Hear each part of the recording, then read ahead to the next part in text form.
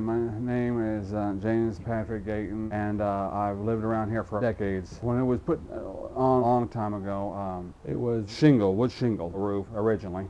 We decided that uh, we wanted something different and uh, something durable and uh, wouldn't be as um, vulnerable to you know hail and things like that, so they could take a, you know a punishment without needing replacement every five minutes, like a, a wood roof. It's probably due to the insulating that they have beneath the uh, the roof material. You know, like the styrofoam, that kind of insulation. I think that's made a difference. We opted for a metal roof, and we chose Ellis. We heard about him from uh, commercials on at the time, and uh, we just uh, also looked through the phone book.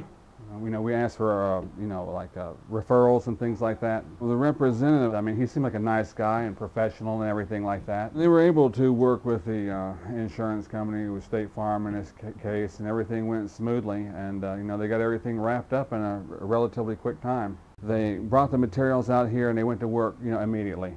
So, and they worked quickly and, and professionally.